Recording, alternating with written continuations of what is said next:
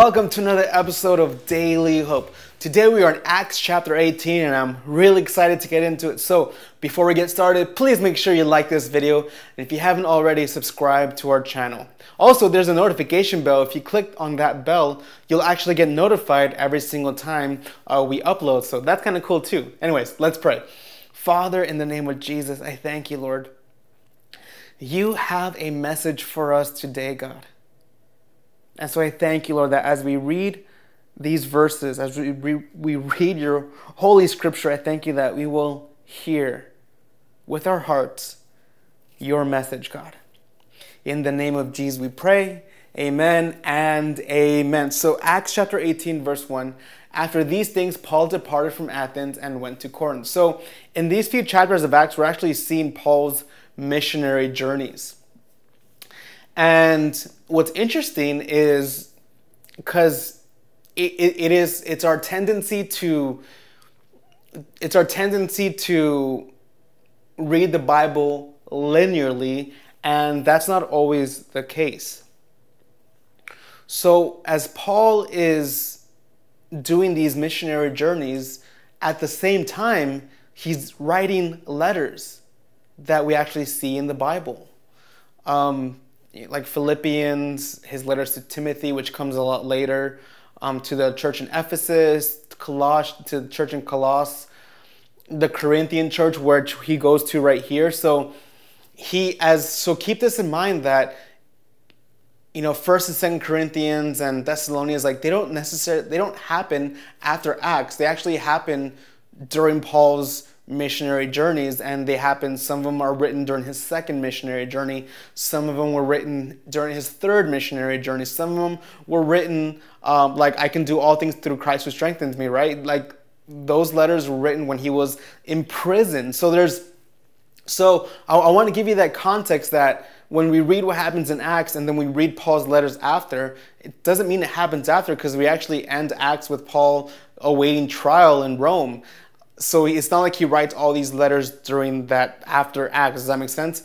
A lot of the all these letters are actually written during these um, journeys. So when so right here when you see you know after these things Paul departed from Athens and went to Corinth, you see what happens in Corinth, and then later he writes a letter to that church first, and then he writes a second letter, Second Corinthians, to the church. So I want to give you that context so as you read the Bible, you kind of have an understanding of what's going on that in Acts, we see him traveling and doing these missionary journeys, but during these times, he's actually writing some of the letters that we read after Acts. Does that make sense? So, so after these things, Paul departed from Athens and went to Corinth. Uh, verse 2 And he found a certain Jew named Aquila, born in Pontus, who had recently come from Italy with his wife Priscilla, because Claudius had commanded all the Jews to depart from Rome, and he came to them verse 8 or verse 3 so because he was so because he was of the same trade he stayed with them and worked for by occupation they were tent makers. This is pretty cool um, that paul you actually see we, that we see paul working. Like he's not just now there's times where paul receives offerings and he receives support but he actually spends a considerable amount of time here in corinth so much that he that he helps um, Aquila and Priscilla to make tents, and he actually supports himself, and it's pretty cool because he's not. He, he he's so wise and just saying like you know he's he's not just gonna live here for a while he's actually for free he's actually gonna make sure that he's being diligent and it's um and we see that here in verse 4 uh, he reasoned in the synagogue every sabbath and persuaded both jews and greeks when Silas and Timothy had come from Macedonia, Paul was compelled by the Spirit and testified to the Jews that Jesus is the Christ. But when they opposed him and blasphemed, he shook his garments and said to them, Your blood be upon your own heads. I am clean. From now on, I will go to the Gentiles.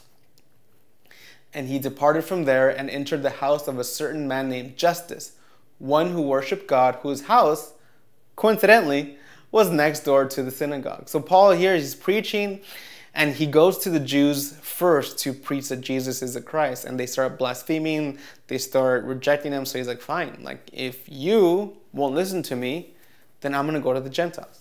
Then Crispus, it's a good name, Then Crispus, the ruler of the synagogue, believed on the Lord with all his household, and many of the Corinthians, hearing, believed and were baptized. Now the Lord spoke to Paul in the night by a vision Do not be afraid, but speak and do not keep silent. For I am with you, and no one will attack you to hurt you, for I have many people in the city. And he continued there a year and six months, teaching the word of God among them. Okay, I, I want to go back to this verse because this is what stuck out to me as we read this. And um, so, verse 7 And he departed from there and entered the house of a certain man named Justus, one who worshiped God, whose house was next door to the synagogue. So he, so he joins himself with a man named Justus, one who worshiped God. Then Crispus, Justus Crispus, fun, fun names. Then Crispus, the ruler of the synagogue, believed on the Lord with all his household, and many, and many of the Corinthians, hearing, believed and were baptized. Okay, so this is amazing. This is what this is what we just witnessed here, okay? Paul is in proximity to the synagogue. In fact, he's right next door at the house of Justus. And however it happened, whether Paul was going in the synagogue over and over again preaching, however it happened, the ruler of the synagogue gets saved and his whole household gets saved. And many of the Corinthians hearing, hearing believed and were baptized. So maybe many of the many of the Corinthians who went to the synagogue now have a ruler in that synagogue who believes in Jesus. How powerful was that? Everyone say proximity. See, God has placed every single one of us in proximity. And and and, and don't forget, in, in a couple of verses, God tells Paul, hey, don't be afraid, speak up. I'm with you. You're not going to get hurt in, in this city. I have many people who love me in this city. Be bold and speak up and that proximity of the, you have this synagogue who's that it's a place of influence right it's a place of influence and then paul is right next to it and paul being paul preaching teaching the miracles following the ruler of this place of influence gets saved and all of a sudden every single person that goes to that synagogue can now hear the gospel from the ruler crispus What's my point? My point is, guys, we have people all around us that we are in proximity to. Whether you live down the street next to Pollo Loco, or you live in the next city over next to an In N Out, or next to um, a Dollar Tree, or next to a Starbucks. Could you imagine if you were just Jesus in those places how would that change? Maybe maybe maybe you live next to a small business and you get to know the owner and then all of a sudden that owner comes to church has an encounter with God except Jesus and now that owner and his and, and, and his and his whole family gets saved not only that but his company starts to do uh, starts to he starts to run the company the way God wants them to run the company and then now his employees see that and then they want Jesus too we're called, guys. We're, we, are, we have the same calling that Paul has.